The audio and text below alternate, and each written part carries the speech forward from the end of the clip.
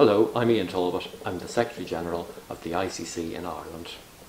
Our top three world business priorities are very simple. First, we've got to look at protectionism and understand why it's arising and how we can go around convincing people that it's a bad strategy.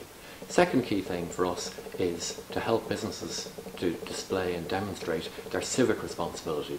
An awful lot of companies are out there doing fantastic work in the civic arena. We think that's very important and companies need to profile it.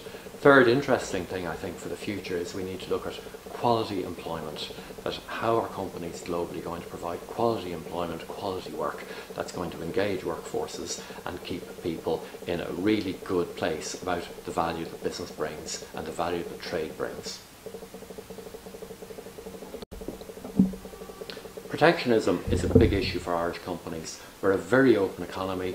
We do a huge amount of trade overseas. We're an island. It's vital for us that we ensure that trade is as open as possible.